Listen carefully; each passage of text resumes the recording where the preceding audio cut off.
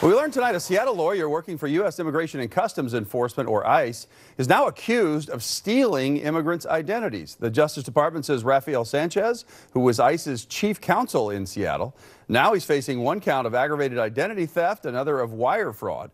Justice Department prosecutors accused Sanchez of stealing the identities of seven people to defraud credit card companies.